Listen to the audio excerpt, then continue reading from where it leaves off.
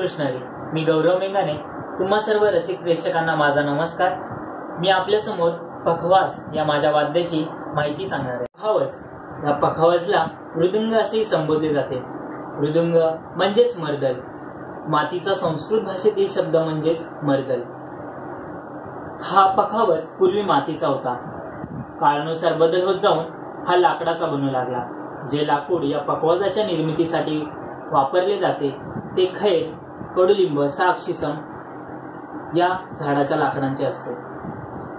पकवाजाचा आकार हा चोवीस इंच लांबीचा आहे. पकवाज हा मध्यभागी फुगीर आणि दोन्ही बाजूला निमुळता होत गेलेला आहे. ही पकवाजाची वादी सात ते सत्तर फूट लांबीची असते. प्रथमतः आपण शाईपुडाची ओळख करून घेऊ. शाईपुडाचा आकार पाच ते सात इंच रुंदीचा असतो. जे शाईपुडाचं पान असतं ते बैलाच्या किंवा म्हशीच्या चामड्यापासून बनवले जाते. त्यानंतर ही शाई शाई ही लोखंडाचा किस मैदा कोळसा यापासून बनवली जाते. शाईच्या बाजूच्या भागास लव असे म्हणतात. लवच्या बाजूचा भाग हा चाट या नावाने ओळखला जातो. चाटच्या बाजूला हा गजरा असतो.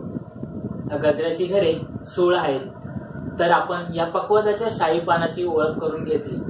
आता आपण धुमापानाची ओळख करून घेऊ.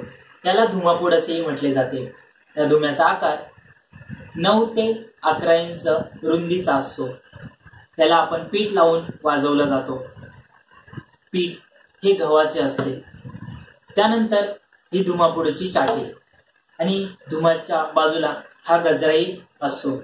अशा पद्धतीने आपण या संपूर्ण पकवाजाच्या दोन्ही बाजूची त्याचप्रमाणे पकवाजाच्या आकाराची ओळख करून घेतली. तुम्हाला जर ही व्हिडिओ आवडली असेल तर नक्की लाईक करा. तुमच्या काही प्रतिक्रिया असतील तर त्या कमेंट्समध्ये आम्हाला पाठवा. अजून नवीन व्हिडिओ पाहण्यासाठी सबस्क्राईब करा आपल्या चॅनलला धन्यवाद.